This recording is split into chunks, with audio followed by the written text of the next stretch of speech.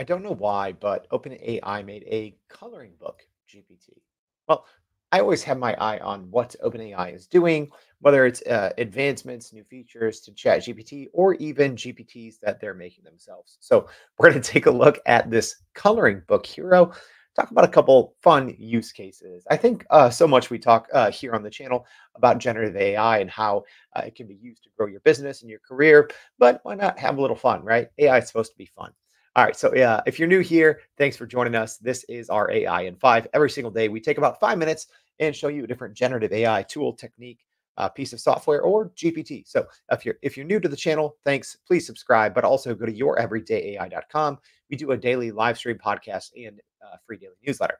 All right, let's jump into it. So, uh, I always keep my eye on what GPTs that Chat GPT themselves are uh, creating and, and making, and some of them make no sense at all. Uh, you know, uh, some of them I, I I think you know are pretty cool. Um, so we're looking at uh, this one here, which is the coloring book hero. All right. So uh, if you are new to GPTs, you just have to have a Chat GPT Plus account, twenty dollars a month. Uh, and this right here, it's again from Chat GPT, and it just says turn any idea into a whimsical coloring book page. All right, so not a lot of uh, you know details on what it does, but presumably you just enter a photo of yourself, uh, or you can uh, describe something. So first, let's just describe something. I'm going to say uh, a fun Chicago skyline. Right, I'm from Chicago. Um, sometimes I just like to, you know, when testing out uh, different AI tools, especially visual ones. I just like to do things with Chicago uh, consistency that I can see from um, kind of test to test. So uh, presumably, it's going to give us a black and white uh, version of, there we go, of Chicago that we could save and print out. Uh, so here we go. So it's uh, ready for coloring. So the thing that most people, uh, I think, overlook when it comes to Chat GPT and GPTs is it can be iterative, right? So I can continue to have a conversation. So in theory, let's say I wanted to create a series of, you know, Chicago skyline coloring books. So uh, you can't get it right every single time. And one thing that a lot of people don't know about uh, within ChatGPT, which this image is being created through DALL-E, is I can actually click it and then I can click this info button here. And obviously, I uh, put in a very short prompt about Chicago skyline, and it gave me this much longer, much more in-depth prompt.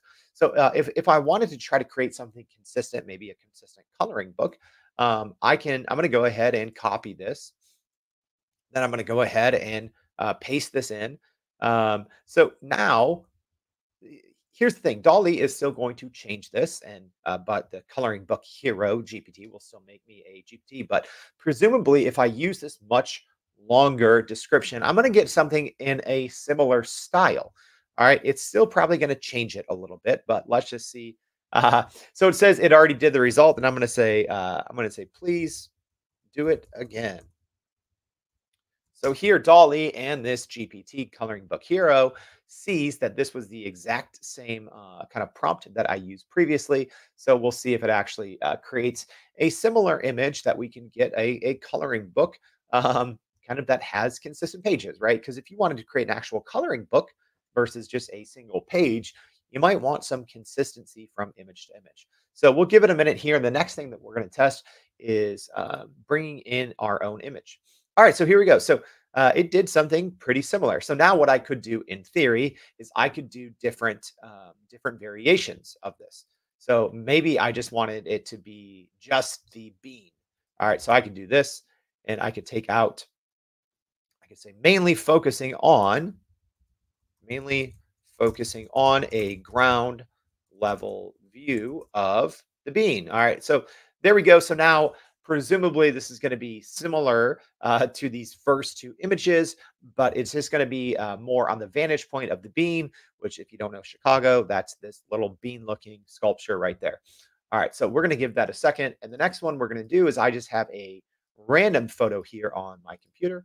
Uh, I have this photo that I took on vacation. So I'm going to upload this and see if I can get a coloring book from my vacation, right? Cool way to, you know, kind of um, remember different aspects of your life, of different trips you've taken, uh, etc. So let's jump back in.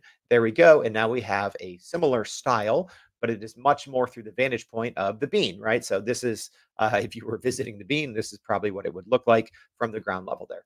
All right, so now let's just do one more. We're going to go ahead and we're going to upload that photo.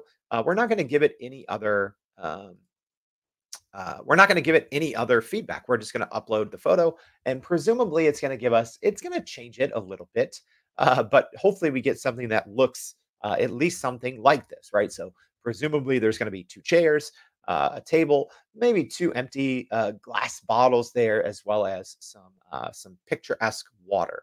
So let's just go ahead. So right now, this GPT, the coloring book hero from OpenAI, is uh, very slowly responding to me. If you're thinking of turning this photo, uh, if you're thinking of turning this into a coloring page, imagine adding some playful elements. Um, so what's what's weird is it didn't even say anything. It, it didn't say like, "Would you like me to do this?" So I'm just going to say, "Please recreate that photo." Let's see if that works there. So again, all of these uh, GPTs uh, are are kind of specially built, right? So uh, and it's going to be different every single time that you use this. Uh, in my testing of this one, I uploaded a photo. It spit it out just fine. In this time, it's really not uh, doing anything on the first uh, attempt. So I'm I'm asking it now to please recreate that photo. If uh, it's it's it's having a little trouble. So if it's if it's uh, not going to create it on this last one, I'm going to try it one more time, but uh, include um, the instructions to recreate the photo when I upload it. So it's being a little slow here. So I'm going to go ahead and click stop. I'm going to go ahead and again uh, upload that photo, and I'm going to say, please recreate this as a coloring book page. Please recreate this as a coloring book page. All right, we'll see if that uh, does it on the technically the first attempt of trying it uh, this way. So uh, we'll give this a second and let's just quickly look at the other GPTs that ChatGPT has created. So this is interesting. I've tried most of these. Some of them I don't understand. They don't make sense. Uh, the hot mods does not do a very good job. Uh, the data analyst, it, it, works similarly to the data analyst mode inside of ChatGPT. Uh, ChatGPT Classic here is just kind of a stripped down version of ChatGPT. The web browser one, I don't understand that one at all. Uh, it doesn't really do anything differently than browse with Bing. So I'm not really sure of some of the use cases. But again, the one that we're kind of uh, reviewing today, Coloring Book Hero, I thought was a, a pretty unique uh, use case for ChatGPT. So uh, let's go ahead and uh, jump back in for whatever reason, whether it's ChatGPT or this GPT in general, is being a, a little bit slow today, but no worries. You get that uh, from time to time. I'm going to go ahead and uh, we'll give this here. Looks like we got just about 10 more seconds.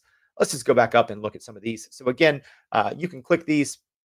You can download them uh, when they are done. Uh, you can also, you know, kind of, you know, train this GPT by giving it thumbs up or thumbs down, uh, you know, as you go along. So let's see if uh, if it's finished. Looks like we're just about done. For whatever reason, it is.